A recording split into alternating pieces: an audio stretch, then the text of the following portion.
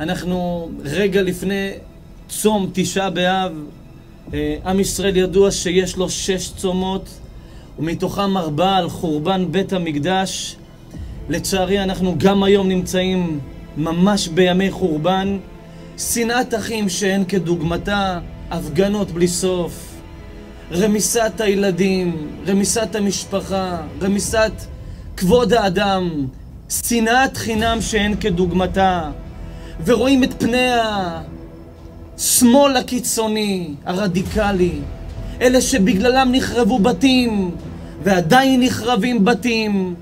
אתה רואה נשים שמורידים את החלק העליון ומשפילות את סמל העם היהודי. אתה רואה דברים בזויים והזויים. חורבן הבית, אם היה שלישי ורביעי או שלוש מאות בתים, ודאי לי ולכם שגם הם בזכות מה שקורה היום היו נחרבים.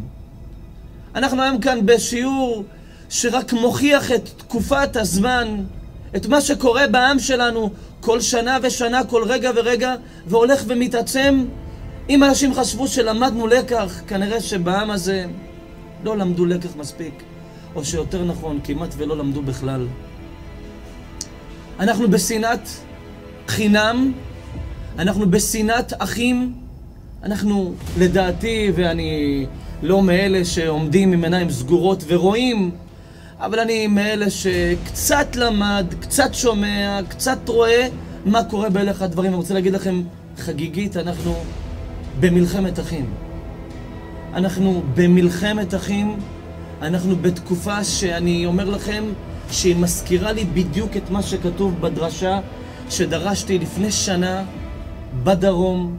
אנחנו בדיוק באותה שנאה שאחד אוכל את השני, שאחד רומס את השני, אחד פוגע בשני, אחד גומר את הבית של השני, זה לוקח את אשתו של החבר שלו, זה לוקח את הבת של, זה רומס את, זה עושה שיימינג, זה עושה פוסטים, זה משפיל את זה, זה גוזל את זה, זה עוקץ את זה. אומר הקדוש ברוך הוא, את הבית שלי החרבתי, כדי שלכם יישארו בתים. אבל היום אנחנו עם יהודי שלצערי שוברים את הבתים אחד של השני. אין כבר כבוד. אתם יודעים, אמר לי אדם שבשפה שלנו הוא עבריין. אמר לי, אני בן 60, כאילו עבריין זקן. אומר פעם בדור שלי של בן 30, לפני 30 שנה אצל עבריינים, היה קו אדום, היה כבוד. זאת אומרת, אישה נשואה לא נוגעים. זאת אומרת, עם אלמנה לא מתעסקים. ביתומים לא מעזים. ויותר מזה, לבית של חבר שלא נמצא לא נכנסים, ואם כבר עושים כבר עניינים של כאילו נקמה, עד הילדים. את זה אמר לי עבריין, כבוד ראש העיר. זה לא אמר לי אה, בבא סאלי, ואת זה לא אמר לי איזה אדמו"ר, את זה אמר לי אדם עבריין שישב 35 שנה בצוהר מתוך 60 שהוא חי. הוא אומר לי, גם היום בעבריינות, או בעולם החילוני, או בדתי, או לא משנה איפה, אין כבר קווים אדומים. זאת אומרת, אין כבר ערכים, אין דרך ארץ, אין טיפת מוסר, אין איזה קו אדום, אתה יודע מה? עד כאן רזדיך, עד כאן. כאילו, את זה לא עוברים. היום הגענו למצב שמסיתים לרצוח ראש ממשלה בישראל.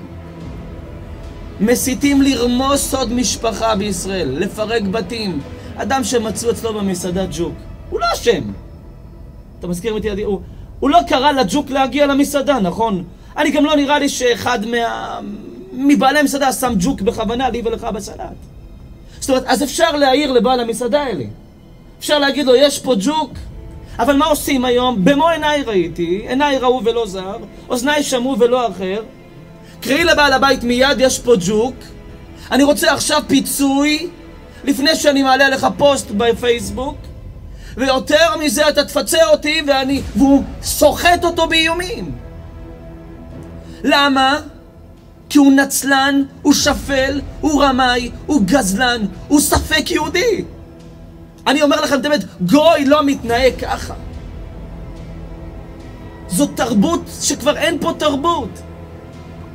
אז יש לך ג'וק, אז נפלה שם שערה, אף אחד לא עשתה את זה בכוונה.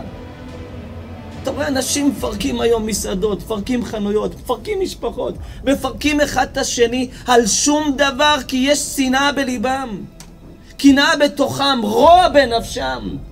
ואתה רוצה להגיד לי שאנחנו לא בתקופת החורבן? אז אולי עכשיו אין בית מקדש. כמה אפשר להחריב בתים כאלה יפים? בית אלוקים. אבל היום כל אחד פה מחריב אחד את השני. אנחנו, אתה יודע, פעם מישהו אמר לי, אמר לי, גם הפוליטיקה של פעם, כבוד ראש העיר אולי אתה תעיד בגיל שלך שתהיה בריא, אבל פעם אמר לי, גם בפוליטיקה היה איזה גבול שלא עוברים. גם בפוליטיקה, כאילו, זה עד המשפחה, עד הילדים. אתה רוצה לדבר עליי, כאילו, דבר עליי. אתה רוצה להגיד משהו, גם את זה כאילו לא אומרים. היום זה כבר מגיע למצבים של שפל, פחד אלוקים.